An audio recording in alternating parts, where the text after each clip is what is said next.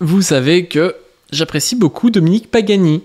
J'ai beaucoup appris grâce à Dominique Pagani. J'ai beaucoup appris aussi, même en critiquant des fois les avis de Dominique Pagani, mais voilà. Et euh, il se trouve qu'il y a euh, d'autres personnes qui euh, viennent un peu de Dominique Pagani, notamment Loïc Chéniaud, et qui, je pense, se sont écartés de la pensée de leur maître, mais plutôt de manière réactionnaire, plutôt dans le mauvais sens, je trouve, et, qui se retrouvent dans une position un peu à la Soral, un peu ni droite ni gauche, et puis bah, surtout ni gauche, quoi. Du coup, c'est intéressant parce que Maxime Bratanov a posé la question à Dominique Pagani.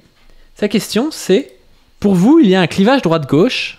Pourquoi certains communistes prétendent qu'il n'y en a pas Écrit sur tous les toits qu'ils ne sont surtout pas de gauche?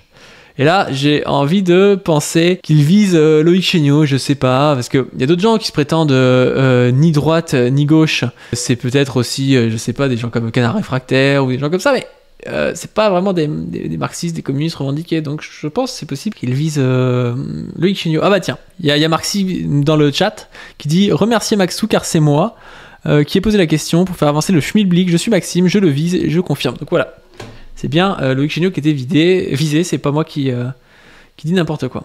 Et donc on va voir la réponse de Dominique Pagani qui est éclairante pour vous, il y a un clivage droite-gauche, c'était certain. Voilà, je n'osais pas, mais dans mon interprétation, c'est ça. Pourquoi certains communistes prétendent qu'il n'y en a pas, écrit sur les toits qu'ils ne sont surtout pas de gauche.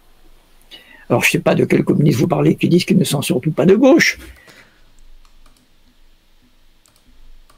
Si vous parlez de la, gauche liée au nom de Mitterrand, par exemple, Mitterrand, c'est pas qu'il y a qui était, regardez la photo il est illuminé par, lorsqu'on lui présente le maréchal Pétain, Mitterrand qui disait dehors les métèques avant la guerre.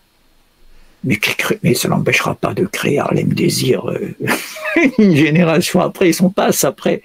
Ah, j'aime quand Dominique qui crache sur Mitterrand, c'est marrant. Pas plus qu'on ne juge un individu à l'idée qu'il se fait de lui-même et encore moins à l'idée qu'il voudrait que les autres fassent de lui. On ne juge une époque sur sa conscience de soi.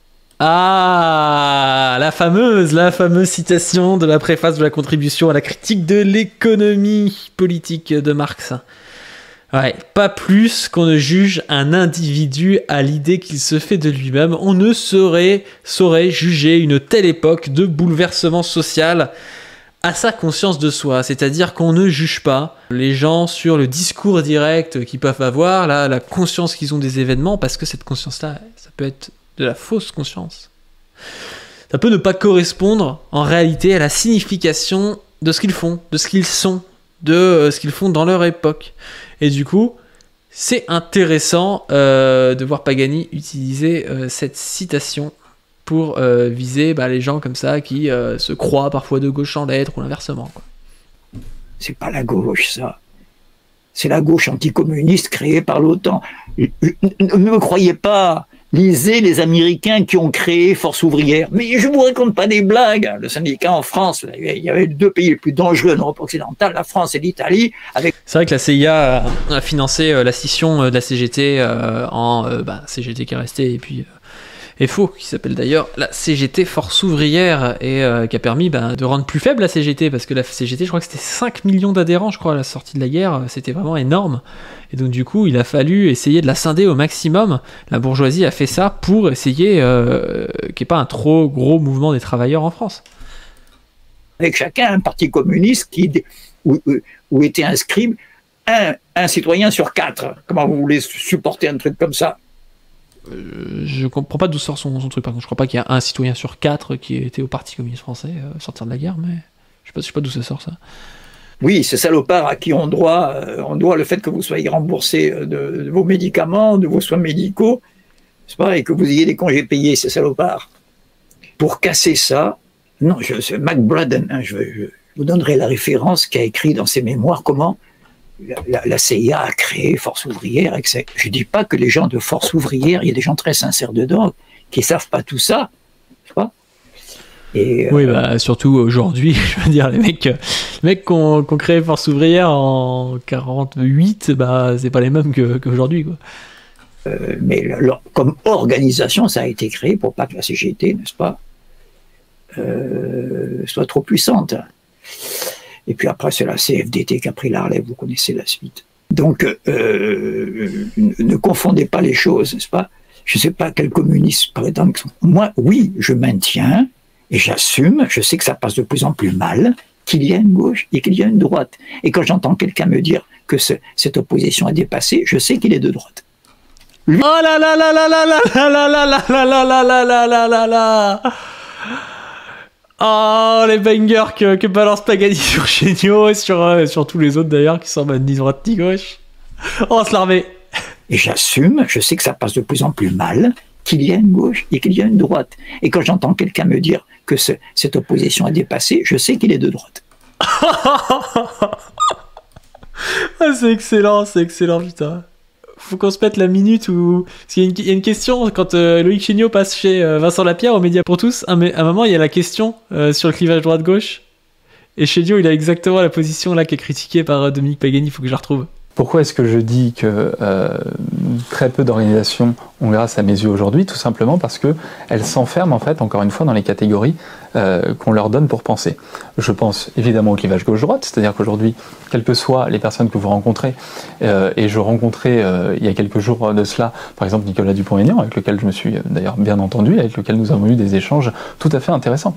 Mais on a tendance quand même à s'enfermer toujours dans la manière de penser sur le clivage gauche-droite. Mais pire encore, quand le clivage gauche-droite n'est plus de mise, j'ai été je crois, l'un des seuls, pour ne pas dire le seul. Et là, je, compte beaucoup d'intellectuels, y compris certains qui ont, grâce à mes yeux, ou qui, parfois ne manquent pas d'intelligence, ont tous repris en boucle cette histoire des trois blocs. Et je montre dans mon livre et dans plusieurs de mes vidéos depuis un an que cette histoire des trois blocs n'a aucun sens. Donc voilà, c'est vérifié. Euh, Chéniaud, lui, euh, se, place, se place à droite euh, d'après euh, Pagani lui-même. Ça qui est intéressant.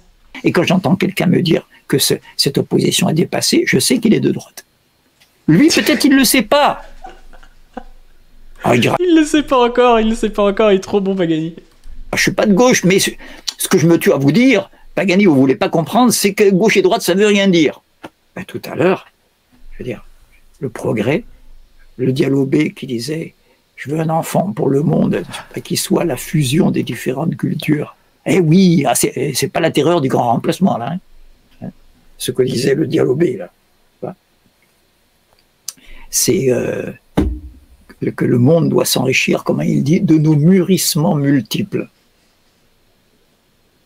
Vous dites ça, mais le droite, il n'est pas d'accord. Donc ça existe, la gauche et la droite. Et oui. Ah, écoutons la sagesse. La sagesse de Doumé.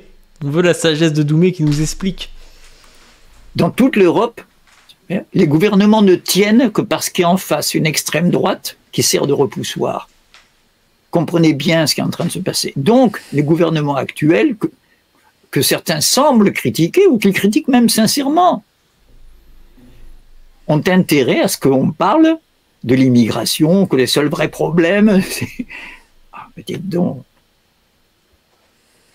Vous ne comprenez pas que c'est ça qui paralyse le discours politique? Ah Putain, c'est bon ça.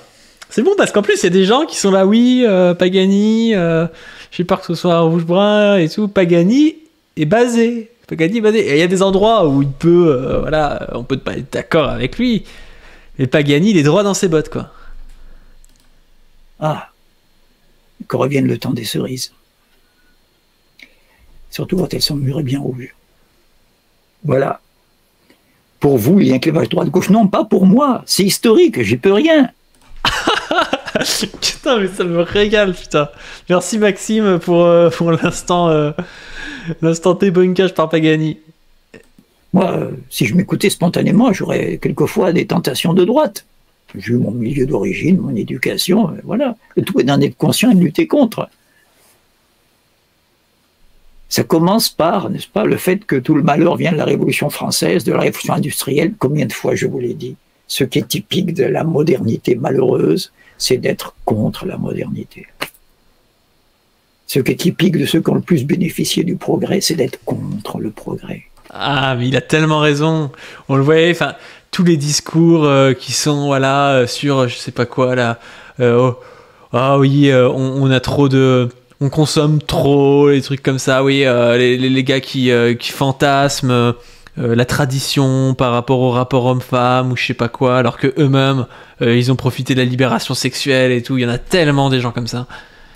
Et de vouloir que celui qui a fait 14 kilomètres avec sa femme sur le dos, dont je vous parlais tout à l'heure, à travers la jungle ivoirienne, eh ben, c'est peut-être lui qui a la vraie sagesse et le vrai bonheur, car les routes goudronnées, tout ça, par lesquels il aurait pu amener sa femme à un hôpital en 20 minutes, c'est le commencement de la fin. Allons donc.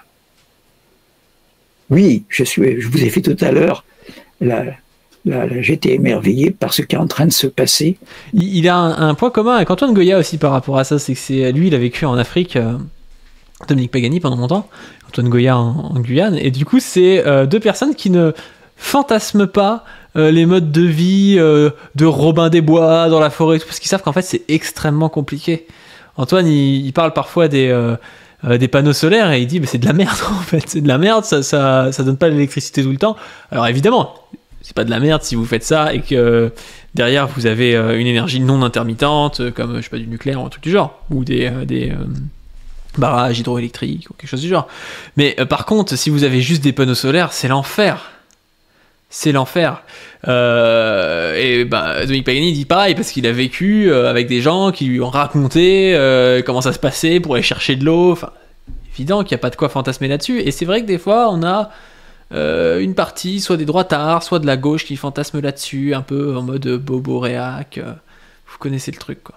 Dans la manière dont la Chine multiplie les équipements par lesquels elle sort progressivement du néant.